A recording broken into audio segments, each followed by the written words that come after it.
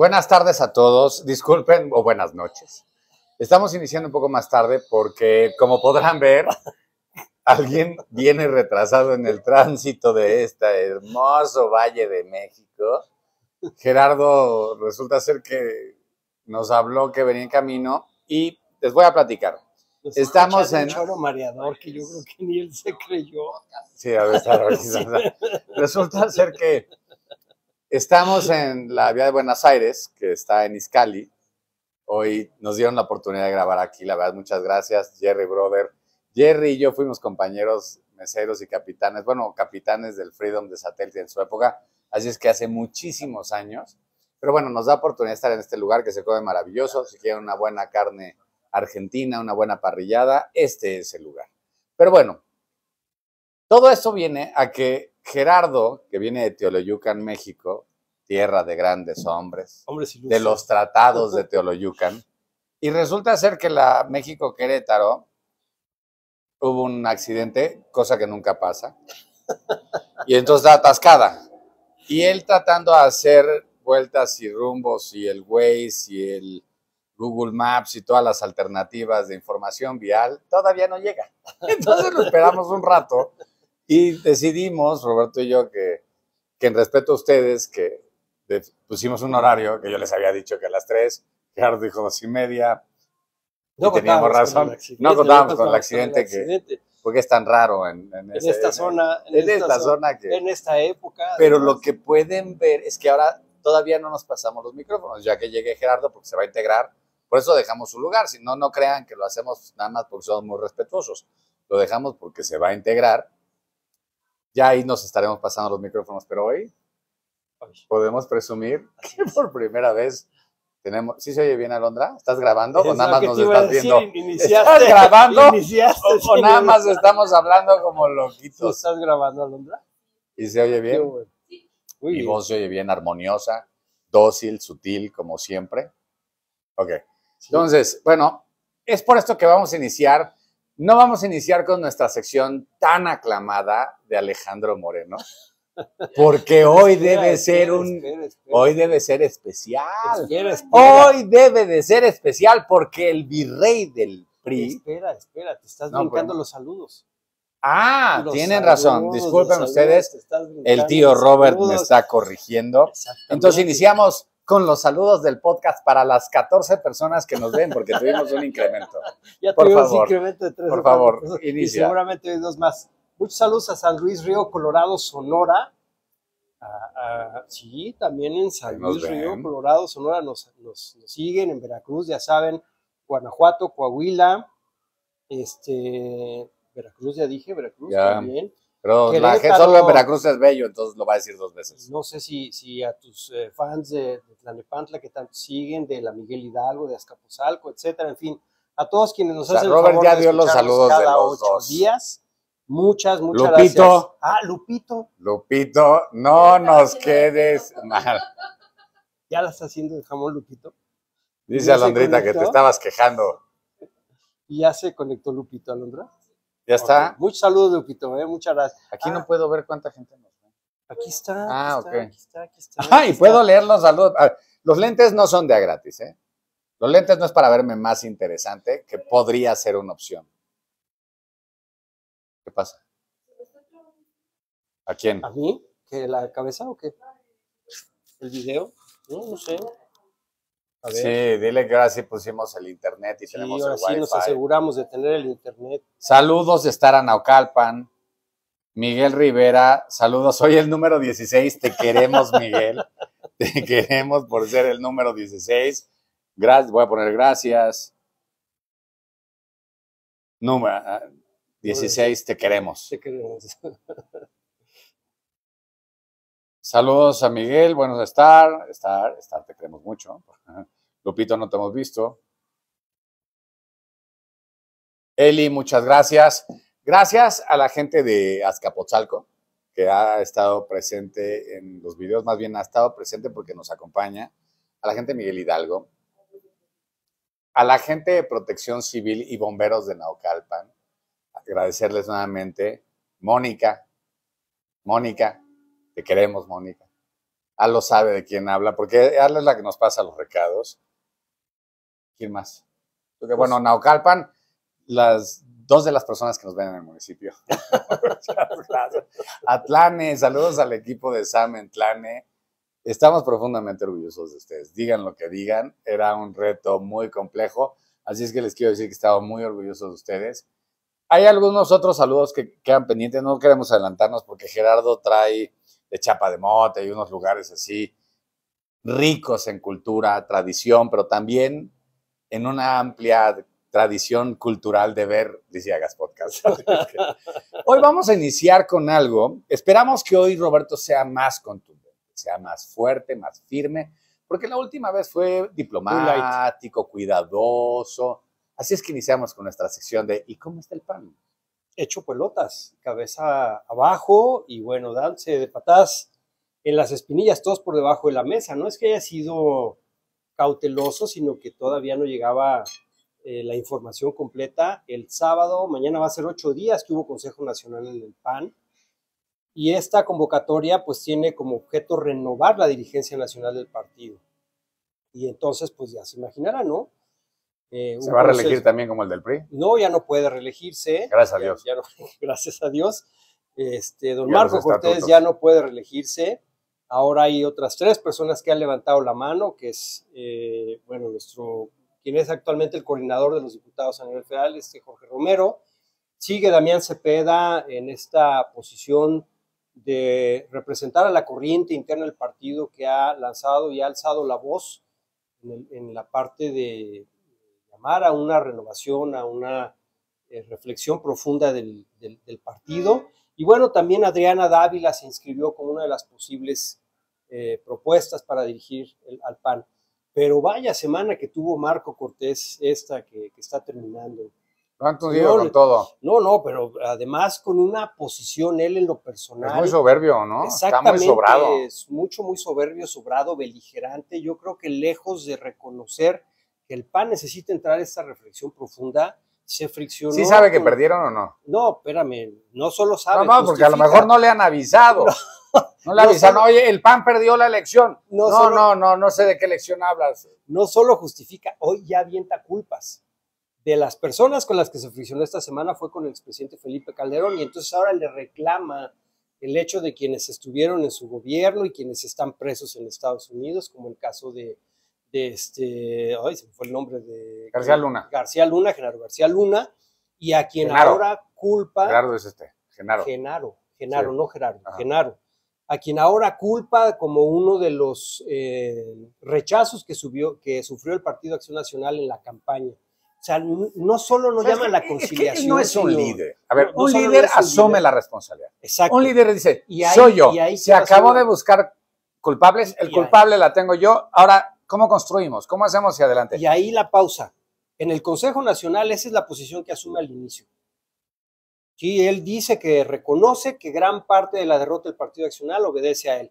Y tú esperarías que dijera, oye, pues presento mi renuncia, llamo a un foro, sumo a las personas que tienen una voz importante dentro del partido y vamos a un, a un este, proyecto de reflexión. No, personas etcétera. importantes Nada. del partido es él, ¿no? No, bueno, yo. el más él es importante en, este en el partido. Dice, yo soy el más importante. Así es. Pero nada de eso, sino que fue a la confrontación con Javier Lozano, hubo una entrevista. Sí, lo vi en Atípica, en se Atípica, llama el programa de así YouTube. Es. La típica tuvo una entrevista y bueno, se friccionó muy fuerte con, con, Javier Lozano, ahora con el presidente Felipe Calderón. Y resulta que de fondo lo que está sucediendo. Ahí alguien fue coordinador de los senadores del PAN, que también ha estado diciendo, ¿cómo se llama? No, no, bueno, eh, desde los expresidentes nacionales. No, que, sena, que, fue senador ahora, ¿cómo se llama? Este, Damián Cepeda. Damián Cepeda. Damián Cepeda. Damián también ha estado diciendo, y Damián decía, desde, Damián lo viene diciendo desde, desde siempre decía que la alianza que era un error. Que, es correcto. O sea, es una voz que ha sido consistente. Es correcto. Entonces yo te diría, eh, había poca información la semana pasada, veníamos a este proceso, este proceso lejos de salir bien para que el Consejo Nacional se viera favorecido y representado, pues tú esperarías que después de asumir la responsabilidad dijera, oigan, señores, creo que terminó mi ciclo, podría dejar las manos de la conducción de este proceso en alguien más, hacer una especie de transición para que no se vea la mano de él interfiriendo el proceso como aparentemente es hoy la realidad. Y no, solo de eso, solo no se va, sino sigue insistiendo en que las culpas las debe de asumir alguien más, menos él. O bueno, la partita que le toca. No, la partita que le toca, ¿no? Ya reconoció Sin albur. sin albur. No voy a hacer. Exactamente. No voy a hacer que nuestro público se confunda. No, no, no, no hay que confundirse, pero el resultado es la triste realidad de que no asumió la responsabilidad que él debe de, de tomar dejar la dirigencia nacional en manos de alguien para que otros sean los que conduzcan este proceso y no se vea nuevamente pues manchado por esta serie de decisiones equívocas que ha tomado. Muy, muy mal el Partido de Acción Nacional. Hablábamos hace unos días de Alito, pero yo creo que. No, Alito todas las semanas. Alito es nota todos los días. todos los días, pero yo creo Ahora están hablando. La nota la dio Marco Cortés. Antes de que Gerardo llegue y hable con profundidad de Alito. Porque es más divertido cuando el tío Jerry habla de Alejandrito. Pero bueno, el tema es, han habido distintas voces, como Beatriz Paredes, a la cual respeto, adoro, admiro, y me da gusto que esté alzando la voz con esa capacidad retórica y de expresión que tiene. Hay algunas otras, hoy escuchaba en el programa de las 2 de la tarde de 96.9 hablar a Francisco Labastida, diciendo que si Alito continuaba él, renunciaría al partido. Escucho a Malio que a mí. Fue más mesurado, Mario, esta semana. Sí, pero te voy a decir una cosa. A mí me parece que es un momento en el que hablan y necesitamos a un líder y no lo están siendo. Y lo que necesitamos es lo viejo con lo nuevo dentro del partido. Lo viejo con lo nuevo en, una expresión donde den foros y yo escucho a las vacas sagradas del partido haciendo expresiones unos contra otros sin tomar en cuenta a las expresiones que somos los que estamos en la calle, los que estamos en la tierra, los que, los la campaña, y, los que sufrimos y padecimos el reclamo constante de la gente. Cuando a mí me dicen es que cómo votaron por los otros, digo, ¿cómo votaron por los otros que teniéndonos a nosotros? Esa era la alternativa, me refiero a todo lo que era el andamiaje y lo que fueron los representantes del, del PRI. Esa es soberbia, el decir, escogieron a ellos que eran malos porque nosotros éramos los buenos, es la profunda soberbia de los partidos políticos que no estuvieron a la altura de las necesidades de una sociedad que está, que tiene una enorme hambre de, cambios. Y, no, y sí lo voy a decir, aunque sea esté ya choteado por, por un partido, pero de esa transformación en donde se generen oportunidades. Ahora, otra cosa que es cierta es lo que hizo Andrés Manuel fue generar un profundo odio clasista. Y eso no abona a nadie. Decir, qué bueno que nosotros ganamos para que perdieran los otros, me parece algo muy peligroso socialmente. Porque cuando se radicalizan las los segmentos sociales o las bases sociales, no importa al segmento que puedas pensar que pertenecemos, lo que estás generando es odio entre mexicanos. Así es. Y espero, espero con ánimo, y lo veo a la hora de que Claudia Sheinbaum está designando a algunas de las personalidades que la van a acompañar, veo a una mujer inteligente que está arropando al equipo con el que construyó en la Ciudad de México o en la CEDMEX, con el objetivo de continuar un proyecto que podría replicarse en un, en un escenario más difícil, ¿saben? Porque ella tiene que hablar bien de todos. Evidentemente, primero los pobres, pero para que los pobres tengan sustento necesitamos que los empresarios se fortalezcan porque viene una dinámica del nearshoring que ustedes han estado escuchando y que en realidad de lo que habla el nearshoring es la sana cercanía que tiene Estados Unidos con uno de los principales proveedores de servicios y socio comercial por la dinámica que tienen hoy en la guerra con China comercial, me refiero. Entonces, ella tiene que mediar y lo ha estado haciendo con los empresarios, escuchamos a las voces empresariales, el dólar está teniendo ¿saben? Menos, eh, menos exabruptos. Menos, menos, exabruptos. Y les quiero hacer un comentario. En cuestión de la reforma judicial, hemos entrado en una dinámica de discusión que me gustaría abordar. La reforma judicial, desde cierta visión, es algo que va a perjudicar al país y desde la visión del pueblo es algo que se da como referente necesario porque no entendemos cómo está el sistema judicial en nuestro país. Para los ciudadanos el sistema judicial es cuando hay un evento en donde lastiman nuestro patrimonio, nuestra persona, nuestra familia y vamos a presentar a un ministerio público, a un área de justicia, una denuncia e inicia un proceso o inician un proceso en contra de una persona y nosotros vemos que ese proceso está viciado o es injusto. Esa es un, ese es un proceso dentro del ámbito judicial que aún depende de los estados, en su, de, las autoridades estatales. Todavía no entra el poder judicial, que son los jueces, los magistrados, los ministros. Esa es otra parte, ¿sabes? Unos les trasladan la investigación o la responsabilidad de la misma a un juez. Y los jueces han sido un sector que se ha mantenido totalmente ausente, aislado. Están rebasados, ¿eh? Pero fuera de que están rebasados. Están rebasados. No hay una explicación clara de cuál es su función.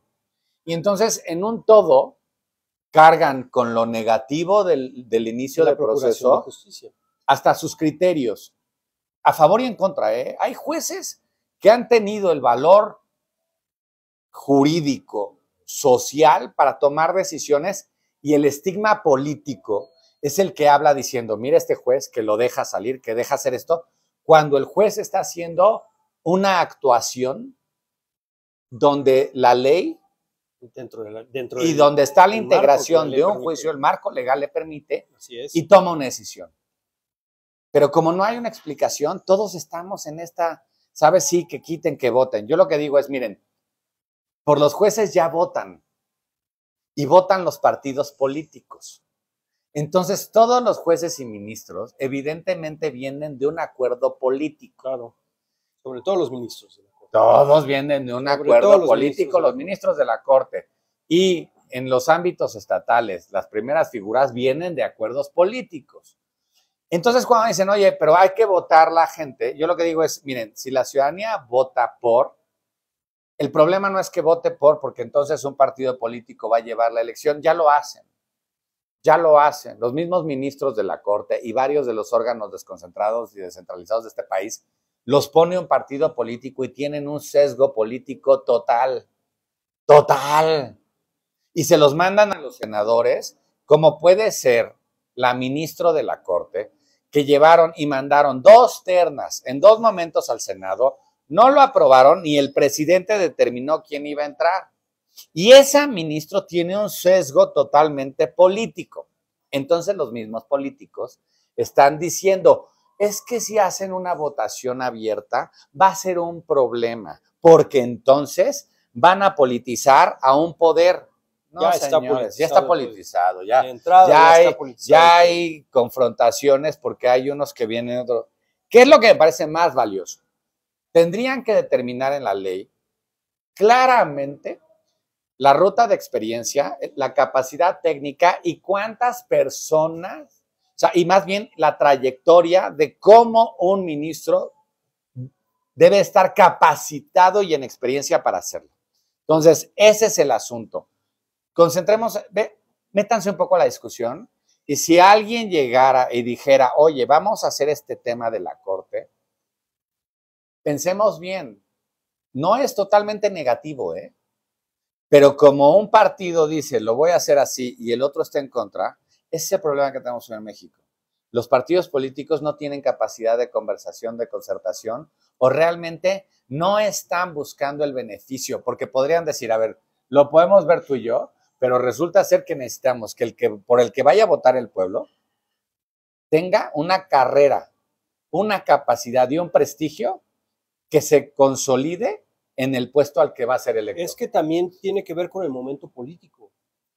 Cada eh, cierto tiempo entramos a discusiones de quiénes son los ministros de la Corte, quiénes van a eh, ocupar esos cargos, y finalmente son acuerdos políticos. Hoy estamos viviendo un momento político totalmente distinto en el país. Hay una hegemonía, esa hegemonía busca darle conducción a su proyecto de gobierno y quiere acomodar las cosas en función de ese proyecto de gobierno. Y lo que ahora sucede es que a la oposición, pues de repente le brincan cosas como estas. Hace unos días, eh, López Dóriga entrevistaba a uno de los eh, grandes magistrados en estos temas en el Estado de México y él lo que decía es, tiene que ver con un contexto mucho más amplio que una simple discusión del ámbito de facultades de cada uno de ellos. Es decir, el juez y después los tribunales y después los magistrados, en fin, cada una de las figuras. Pero fíjate, la media, los países de la OCDE tienen una media en que debe de existir 18 jueces por cada mil habitantes más o menos, por cada 10 mil habitantes más o menos. Debo, debo de revisar ese dato. Y resulta que en México tenemos solo dos jueces por esa misma cifra. Ya llegó el Jerry. Y hoy, fíjate que nos hemos aguantado. Ya hablamos, estábamos en el tema de los jueces. Ya le mandamos los saludos a Lito de tu parte. Oye, aprovechando en lo que te instalas, dice Al, nos guste o no, ganó el colectivo. Y Alito todo el sexenio, espero que sea broma, pero bueno. Eh, sí, no. Este, plan C en marcha, no, no, pero dijo, está, ah. en plan, eh, no hay quien lo detenga, el pueblo manda, lo cual es, el pueblo manda, sí, pero el pueblo manda en base a una propuesta de alguien, o sea, no es que se mandate y sea anarquía, porque entonces sería otra cosa. Tienes toda la razón, el pueblo manda, pero como pueblo debemos asumir la responsabilidad que nos corresponde. Y, también, es lo que y también un pueblo informado, ¿eh? porque muchas de las cosas que reclamamos actuales lo eligieron expresidente ladrón y no quieren el pueblo y los elija. No, ya explicamos por qué. Sí, no tenemos problemas con eso, pero también queremos perfiles que al final de cuentas tengan la capacidad técnica, porque lo que decían de 90% de qué era, de lealtad y 10% de capacidad, es, una es. lo más bruto que he escuchado. Es lo que nos tiene Luego, eh, corruptos actuales, eligió, es lo mismo, entonces debe ser una copia. Cedillo es correcto, el plan se va. Y bueno, ha llegado Gerardo, entonces lo que vamos a hacer es que nos el intercambio de los, micrófonos. y otra vez va a empezar la rebatinga. Pero no, a ver, ya hablamos del gobierno de. No, no, ya hablamos de Marco. No, de Marco Cortés, ya, él, lo hizo bien. ¿eh? Que por cierto. Lo hizo. Que, por, que por cierto me dejó a medias. de repente se metió con el gabinete. Blue Demon. Ah, Blue Demon. ¿Tú crees que esta gorra la traje por equivocación? No, le iba a decir. Le iba a decir, ándale, habla de tu Blue Demon. Habla de tu Blue Demon. Le echó, le echó dos más Sí, le echo más que la No, bueno. Sí lo, hizo, sí lo hizo bien, sí lo hizo bien. Ya hablamos de la presidenta electa y dijimos que estamos en su gabinete. De su gabinete. Bien. Ya de la presidenta electa ya no vamos a hablar. Entonces te reservamos, te dejamos el área de Alejandro ah, Moreno. Ah, bueno. Qué bueno, qué bueno. Del gabinete ya no hablamos. Ok, no, ya, no voy a hablar del gabinete. Pero de Alejandro Moreno, por favor. del gabinete en mi casa tuve que sacar estas aspirinas.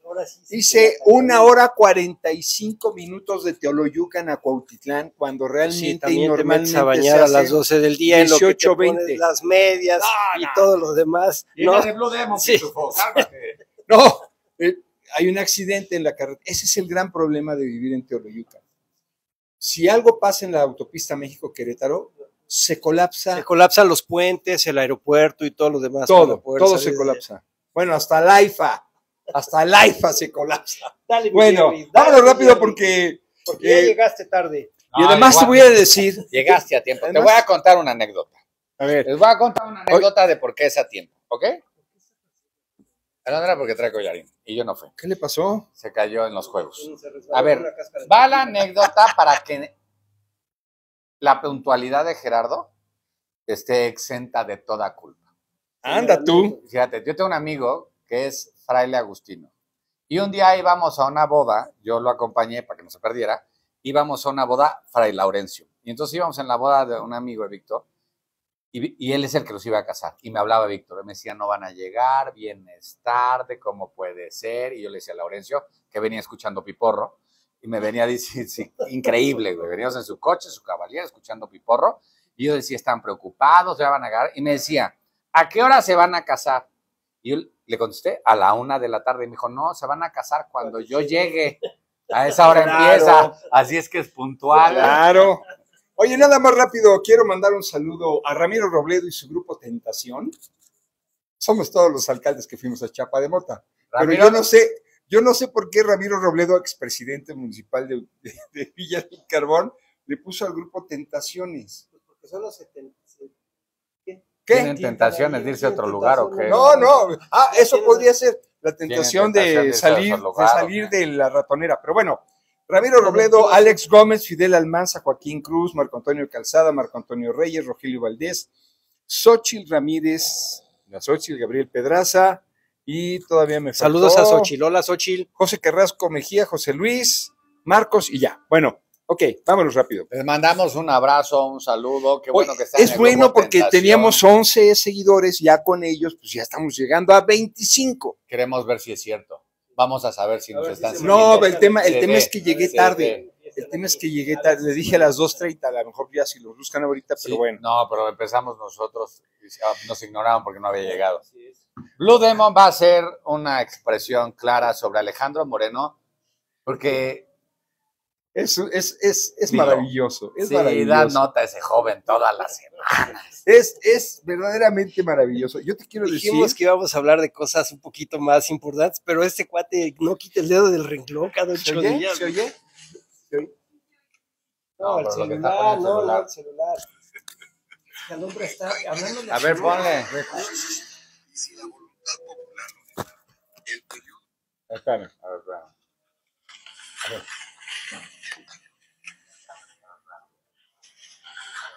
El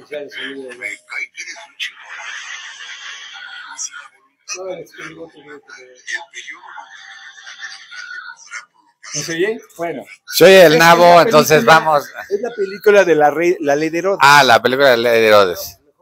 Véanla, vean la película, es maravillosa.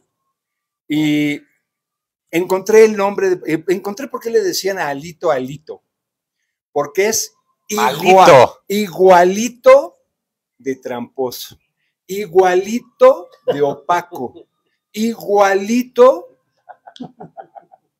de deshonesto, igualito de autoritario. Esto que Alejandro Moreno alguna vez yo le escuché criticar ¿no? En los momentos de electorales y todo, es lo que está haciendo en este momento. En este grupo o en otro grupo al que pertenezco también, Alejandro Manuel dijo que iba a reunir a los consejeros estatales para la Asamblea Nacional en este tema de querer cambiar el artículo 178. Sí, con la posibilidad de reunirse hasta, el 2032, ¿no? La sí, posibilidad de tener otros periodos ahí de... No, bueno, es como la ley de Herodes, la ley de Herodes. Y entonces... El dictador del PRI. El dictador del PRI. Y entonces el problema es que todo, en ese grupo en el que estoy, hay consejeros estatales. Uno de ellos, por cierto, Francisco Clamont, que fue... Doctor Wagner. El doctor Wagner, sí. Doctor Wagner. El, el, que fue, bueno, pues, secretario hasta de salud en el sexenio de Alfredo del Mazo. Se olvidó de nosotros. Sí. Bueno, bueno, ok. A lo que voy es, de repente dice, oye, pues ¿cuáles consejeros estatales? A mí no me han dicho nada, no me dicen cómo va a ir. Y de repente el prismo, el verdadero prismo, está obviamente en contra de que Alejandro Moreno se relija. Todos dicen que termine su periodo y que se vaya. La peor etapa del PRI en toda su historia es con Alejandro Moreno. El, tapete, presidencial, el, tapete de presidente que hemos tenido con el PRI y entreguista ha sido con Alejandro Moreno los peores resultados son con Alejandro Moreno. Y yo lo dije el otro día, y todos lo sabemos, ni siquiera lo tengo que decir yo. Si Alejandro Moreno se relige, hay mediciones que dicen que entre el 50 y el 80% de los militantes renuncian. Habrá desbandada entonces. Claro. Y anunciada, muy anunciada, ¿no? Y ahí además te voy a decir una cosa. Entre él y el señor Moreira, que tiene ahí a, a su... No, pero no me digas así. Bueno, entre él y Moreira, ¿no? Entre él y Moreira son los que controlan el partido, porque pues, la esposa de Moreira es, ya sabemos, Cristina, ¿cómo se llama? Carolina. ¿Carolina qué? Villano. Villano, es que, pues, bueno, Carolina Villano. Pues el villano es el marido también, junto con Alejandro Moreno. Pero lo que les quiero decir es esto. Si hay alguien a quien yo respeto en el PRI es a Fabio Beltrones y, y, se aventó un tema con una reunión que hubo con el comité directivo del PRI de Sonora, donde da el por qué Alejandro Moreno no puede reelegirse. Y entonces, esta reelección es el domingo, ¿eh? Este, este tema de la asamblea es el próximo domingo, 7 de julio. Ese 7 de julio puede ser la fecha en la que el PRI se muere, si este hombre logra cambiar el, artículo 178. El 7 del 7. El 7 del 7. Número cabalístico donde Alejandro Moreno podría estar sepultando al PRI. y, podría hacerle el flaco favor que siempre le han pedido, ¿no? Pareciera que a eso vino, a terminar con el PRI. Entonces, bueno, este, yo lo siento así. No hay más que una Asamblea Nacional a modo de Alejandro Moreno, de Amlito Morena, para cambiarle el nombre. Amlito Morena. Amlito Morena.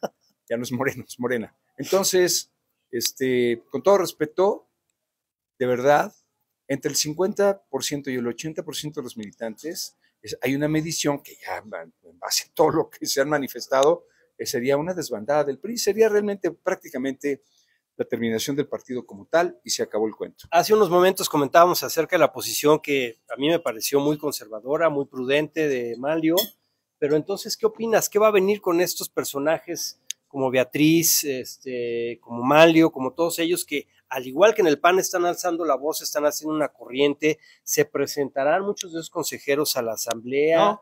¿Cuál será el resultado de la posición de ellos? No, y Mario ya lo, ya lo dijo. Mario no va a ir. Dulce María Sauri, ni Exactamente. Dulce María fue un poco más enérgica en su entrevista esta semana.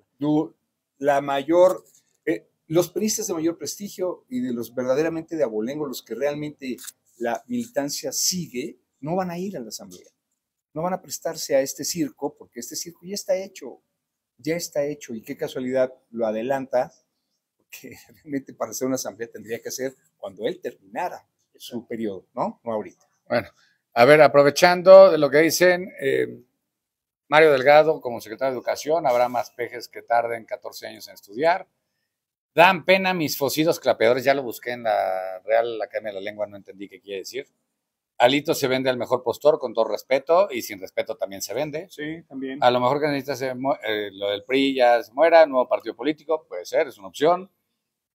Nomás están hablando, vayan con Alito y de frente. ¡Ay, pues ya se lo dijimos! ¡Ya se lo dijimos! De frente y nos mandaron emisarios. No, no, si Alito sabe, pues ¿con quién crees que nos, es uno de los que nos mandó castigar la cuenta? sí, no, pues si tú qué crees que esto no lo ha visto. Además te voy a decir una cosa eh, nos siguen en el podcast. Pero con otras cuentas. Nos siguen. Y no tenemos empacho en decirlo. A mí Alejandro Moreno no me representa.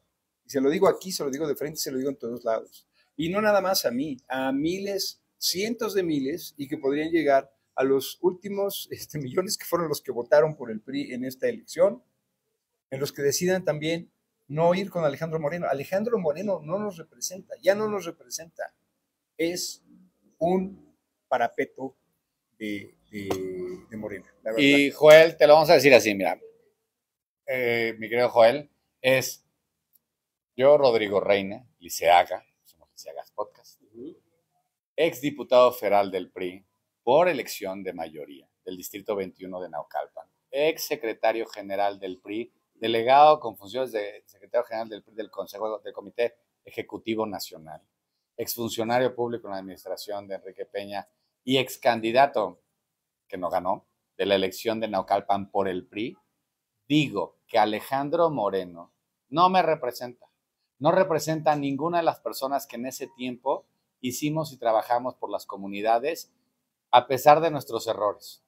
Y lo digo así para que nos ayuden a que lo tenga claro que habemos personas que tomamos decisiones en su tiempo, acompañamos en otros momentos una dinámica política que hoy queda claro que no quieren, pero que nosotros como priistas tampoco lo queremos a él. No. Así es que lo digo así, porque si alguien tenía alguna duda, pues creo que se disipa y seguiremos insistiendo mientras Alejandro siga insistiendo, porque ni nos van a callar ni nos vamos a callar. Y con eso continuamos con el momento de Alejandro Moreno. Y nada más, yo nada más quiero cerrar Yo nada más quiero cerrar. Yo nada más quiero cerrar con esto. No hay peor ciego que el que no quiere ver, el que no quiere ver. Y, y eso no le queda a Alejandro, porque él ya sabe hacia dónde está llevando al partido. Pero ha ganado todo, dinero, Por eso. Oh, bueno, es que, es que es justo lo que, lo que estaba hace rato es, tenemos dos reyes de chocolate en este momento. Marco Cortés en el pan. Vaya. Y, y, Alito Moreno. Rey de chocolate a Marco Cortés. Devon. Esto que están viendo es un ejercicio que de forma diferente se puede dar en los dos partidos. Es la continuidad de los malos resultados, no a un proceso de reflexión, no a escuchar voces, limitar la participación de los, de los miembros activos de los partidos, de los que estuvieron en campaña, de los que tocaron puertas, de los, de los que recorrieron los municipios y se dieron cuenta del sentir ciudadano. Es decir, hoy estamos hablando de Alito porque puede llevar al fracaso al PRI en la próxima elección. O sea, el PRI puede, el PRI puede pasar. El, el PRI puede estar, eh, no, no, no, siguiendo el camino del PRD y estar pensando ah, en un proceso de desaparición. En perder el registro. Pero ¿qué creen? El PAN también. Cuando veas las barbas de tu vecino cortar, pon las tuyas a remojar. Y ante las reflexiones de lo que hace hoy Alejandro Moreno, me acordé de Sor Juana. Sor Juana, perdóname por lo que voy a decir, perdóname por lo que voy a decir. ¿eh? No, yo ya me estoy preocupando.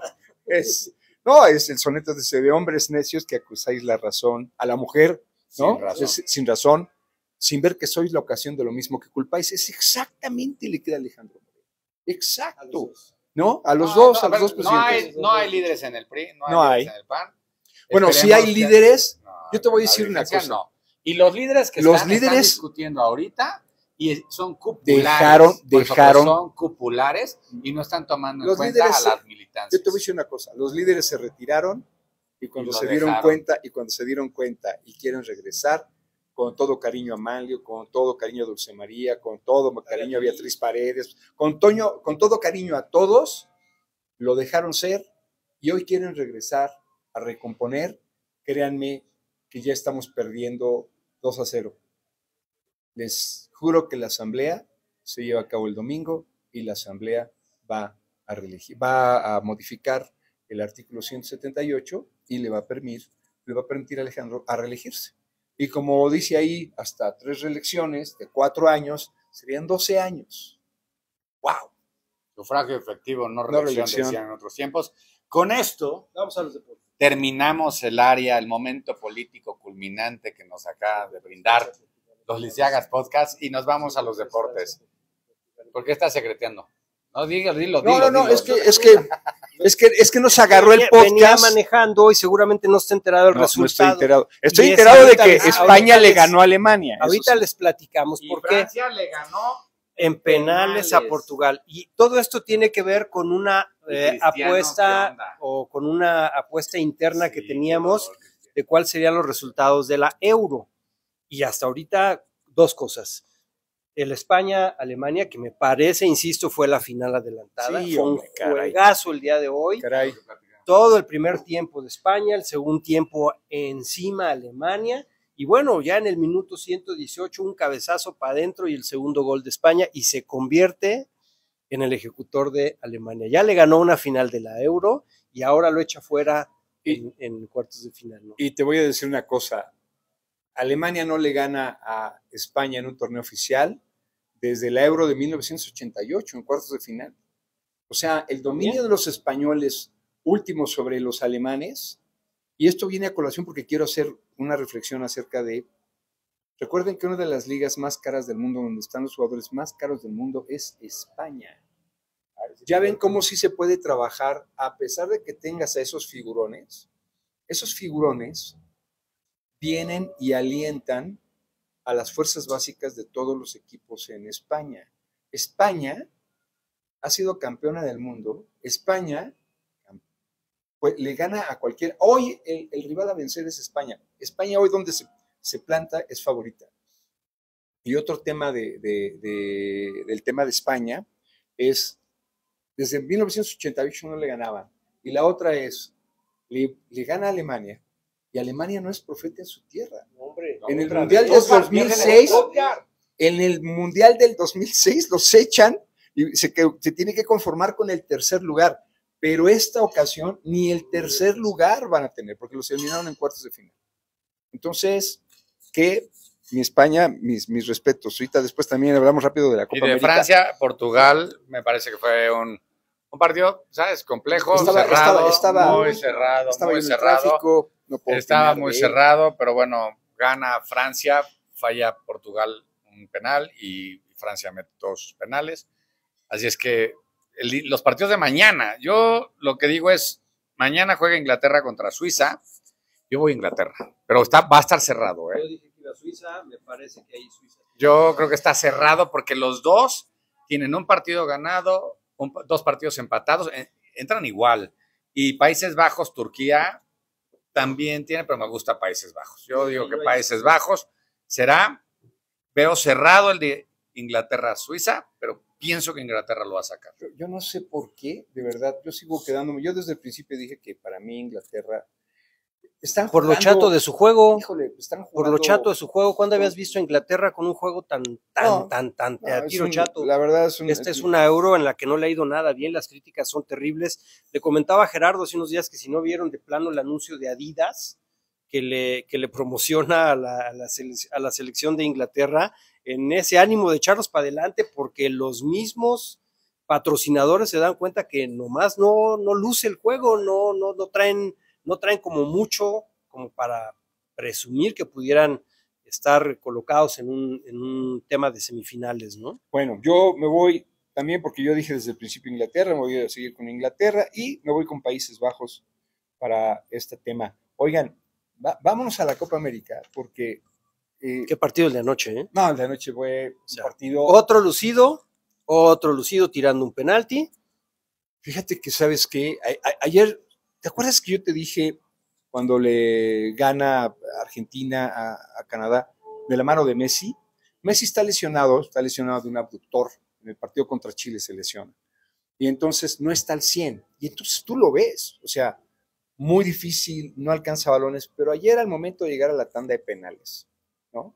Sandro Martínez mete el, primer, del, el primer gol del partido eh, por el equipo de, Argentina y Kevin Rodríguez al 90 más 1. Al 90 más 1. Al 90 más 1 mete el empate. Entonces, ¿cómo es tener a alguien tan grande en la portería? Se van a penales y ese arquero que para mí se me hace verdaderamente de los, los, los mejor, el mejor arquero ataja penales, que ahorita les voy a dar unas estadísticas, detiene a dos, le, le, para el penal a Mena y a Minda, a Ángel Mena y Alan Minda. Dos penales después de que, después de que eh, Messi falla en ese tipo, tipo eh, tiro tipo panega que pega en el travesaño. Hay una, hay una alarma, se quedan los argentinos así, hay, una, hay una imagen que yo sí pude ver en la televisión, cómo siguen a Dibu y le grita a Maradona, no te preocupes, ahorita vas a ver. ¡Pum! para el penal. Y luego viene otro, ¡pum! para el otro penal. Y de repente Argentina se levanta con este muchacho Dibu Martínez que ha sido para mí, es un fenómeno, es un tipo fenómeno. Pero ¿qué viene? Ayer desnudaron a Argentina, porque en el segundo tiempo Ecuador le pasa por encima a los argentinos. Solamente porque Mena, porque Minda, porque todos, porque Caicedo, porque varios, jugadores. Macalister, ¿no? Macalister, que corrió como loco todo el partido. Ayer. No, pero además, yo estoy hablando de los ecuatorianos que ah. vayan frente al marco. Si, si tuvieran mayor contundencia los ecuatorianos, créanme que ayer pudieron haber metido un 2-1 o 3-1 a Argentina. Viene la llave, la llave es fácil para el campeón, ¿eh? porque van contra el que gane hoy, Venezuela y Canadá, que yo creo que va a ser Venezuela. Y hasta aquí llegaron los equipos de la CONCACAF. Para mí los dos se van a ir. Venezuela viene con todo para, para verdaderamente disputarle a quien sea la Copa América. Y una cosa sí te digo,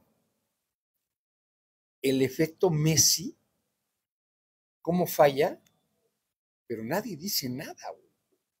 O sea, falla, tú dijiste ahorita algo que es, es cierto sobrado, ¿sabes? O sea,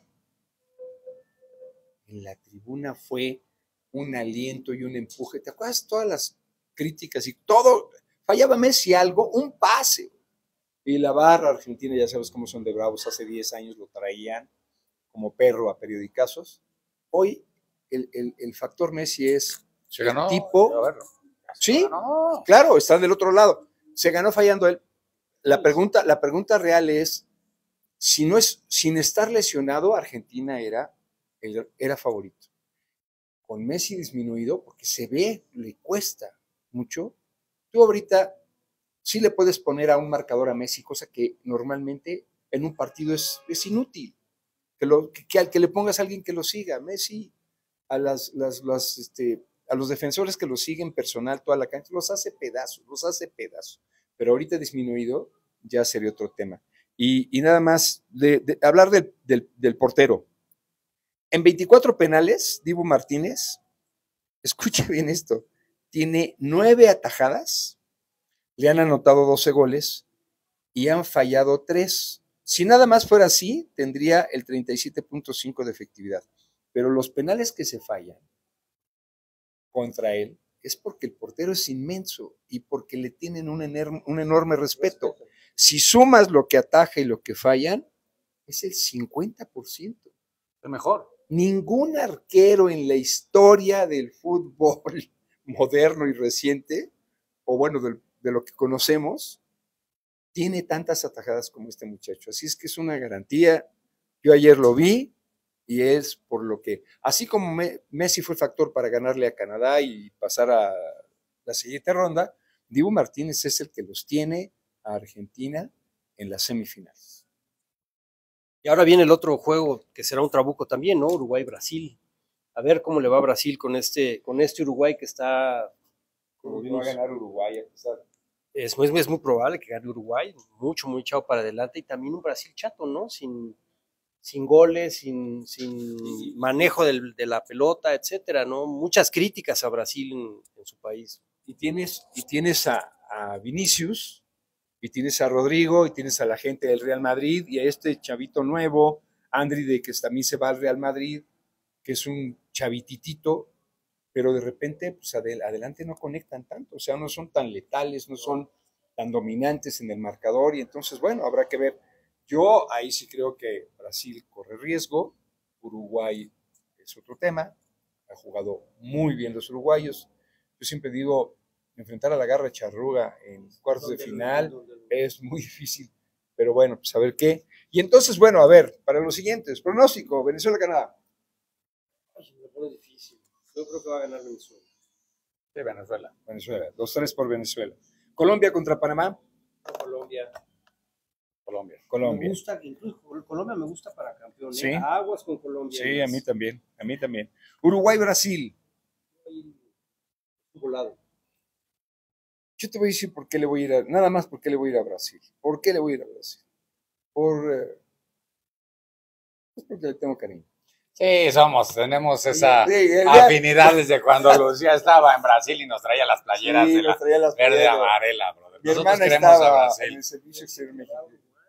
No, dijo a Ah, você, eh, eu tive una enamorada brasileira há, quatro, há seis anos.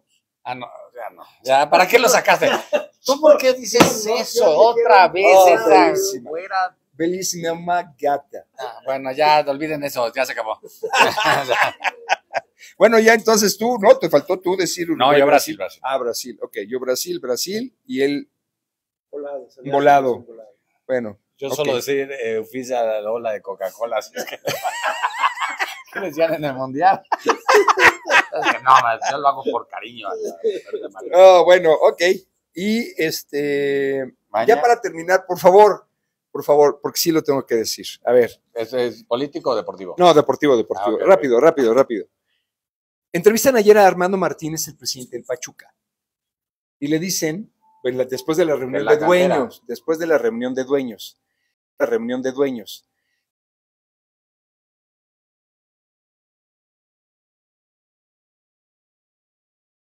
Una declaración, Armando Martínez dice, la decisión es de ellos, nosotros vamos a respetarla.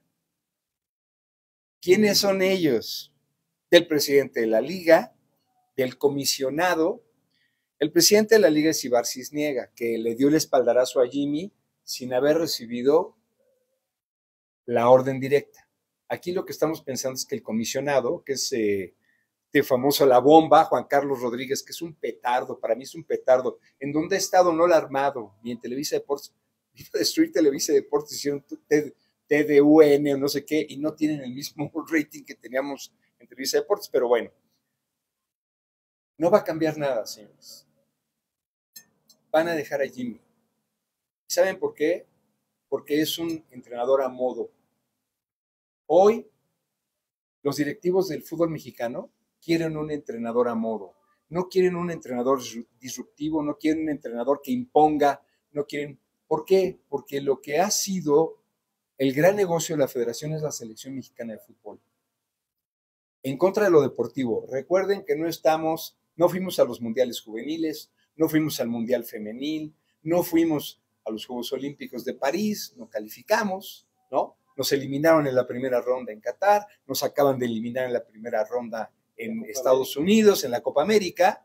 Esos son los resultados más pobres que ha tenido el fútbol mexicano en su historia, en su historia. ¿Y saben por qué Jimmy Lozano? Porque Jimmy Lozano le dicen, oye, los chavos fulano, sutano y perengano tienen un comercial que grabar con Panamex, BBVA, Bancomer. Aquí no tenemos que decir las, las marcas. Coca-Cola, Pepsi-Cola, Tú le decías eso a Manolo Lapuente, a Ricardo Antonio Lavolpe, a Miguel Mejía Barón, o sea, a, Javier el Vasco Aguirre, que te prestara a los jugadores y que tenían que estar en tal hora, uy, te metías en un problema con el entrenador nacional. Ya no hay carácter, ya no hay línea y la única línea que les importa a los federativos, no a los dueños, porque no todos están de acuerdo. Grupo Pachuca no está de acuerdo que sea Jimmy Lozano. Grupo Pachuca no está de acuerdo que hayan eliminado a, México en la Copa América en la primera ronda. No está de acuerdo. Hay muchos dueños de fútbol de los dos grupos, porque hay dos grupos, que no están de acuerdo. Ya lo, ya lo dijo Jorge Campos ah, después de la eliminación, ¿no? Jorge Campos decía, el México de antes era pararse de frente a Argentina, pararse de frente a Brasil, al que fuera, era tú por tú, nos entregábamos en la cancha, nos tiramos en la cancha. Y estos chavos ahora están más ocupados por ver el coche que traen, el patrocinio que les dan y se olvidaron de la cancha. Y ahí están los resultados. es negocio, solo que buscan es la. Una selección, los quieren justificar. Es increíble que no tengan la capacidad, la fuerza, el liderazgo, la determinación de decir, somos México, tenemos una enorme trayectoria y estos son nuestros estándares, los quieren, eh, los quieren justificar. Yo escuché a cronistas de deportes que decían, es que estuvieron muy bien, pero nos faltó consolidar. Qué cosa tan ridícula. Tengan dignidad. La verdad, exijámonos una selección que nos representa a todos. O ese es el reflejo que tenemos. Perdóname, pero no estoy de acuerdo. Oye, me, da mucha risa. Estoy escuchando la narración. Pues mi televisión enciende en Televisa ya de 8 por 8. O sea, ¿no? Enciende ahí. Ahí. Yo solo para que lo tomen en cuenta, creo que ya nos excedimos un poquito en el tiempo. Bueno, ya, ya vamos a cerrar. Eh, eh, nuestro primer podcast de 60 minutos. Ahí, les va para cerrar nuestro podcast. Todo, por el esperar a Jerry. Ahí, ahí, les va nuestro podcast de 60 minutos, nada más para cerrar. Es de risa y de vergüenza que el narrador, era mi buen amigo Vaca, entra Ariel Antuna Uriel Antuna, y le pide un buen centro. Dice, un buen centro, un buen centro. Nunca, nunca manda un buen centro. Hay jugadores que ya no deben de estar en la selección, hay jugadores que ni siquiera este, merecen ponerse la, la playera tricolor. Ahora, pues ellos no tienen la culpa. Es lo que hay, ¿eh? Es lo que hay. Es lo que hay. No tenemos más, porque no se han abocado a crear nuevas figuras. Los equipos que sí le saben al negocio, como Pachuca, entienden que es un proceso a largo plazo. Los demás quieren seguir trayendo a sus extranjeros de 300 mil dólares para venderlos en un millón y medio y hacer el negocio. Y esos después se van, vienen a ocupar una plaza de un mexicano y la verdad es que a los chavos de México se les cierra la puerta siempre. ¿Y saben qué? Tenemos un talentazo. Yo decía, Oigan, en un país de ciento, nos ganó Uruguay 4-0. Un país de 6 millones de personas le puso un baile a un país de 130 millones de personas. ¿Usted cree que en 130 millones de personas no tenemos el talento suficiente para sacar tres o cuatro selecciones que le ganen a Uruguay. Por supuesto que sí. Lo que no tenemos son los espacios. Por supuesto que sí.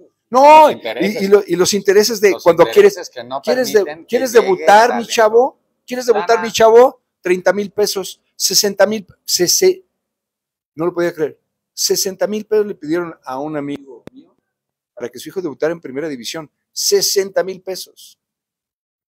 40 mil pesos para que debutara en segunda división o en la división de ascenso, que ahora ya, pues, ya no hay de ascenso, ¿no? Pero bueno, este, yo ya por mi parte termino en este podcast de 60 Acabamos porque como el, tema de investigación, hay un programa de investigación 60 minutos. Y si hagas podcast fue el, tema de hoy. Les mandamos un abrazo. Gracias Muchas gracias. Excelente fin de semana y es 16. Gracias por estar con nosotros. Abrazo, saludos. Gracias.